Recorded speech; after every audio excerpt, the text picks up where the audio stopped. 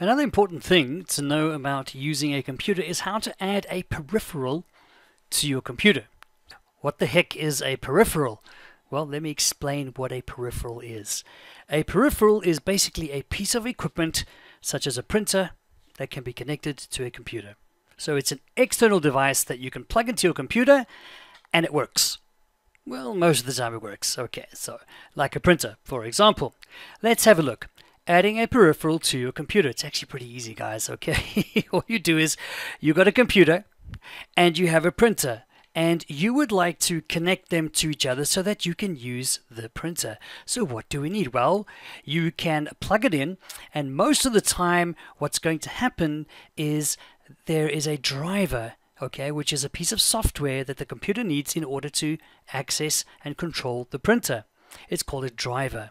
Kind of like a car. I mean, a car won't go without a driver. Yes? Yes. So you need a driver.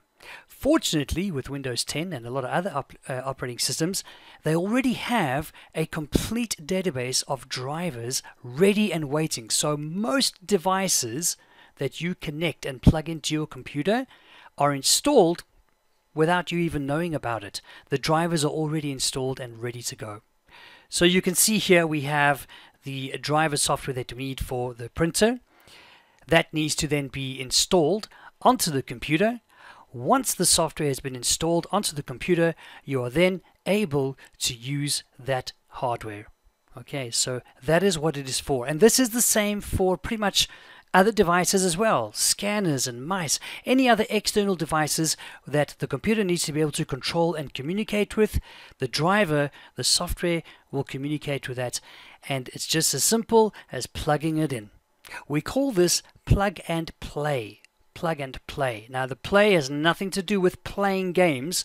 Plug and play just means that you plug in a device, the software gets installed automatically, the driver gets installed automatically to control the device, and it works in a matter of seconds.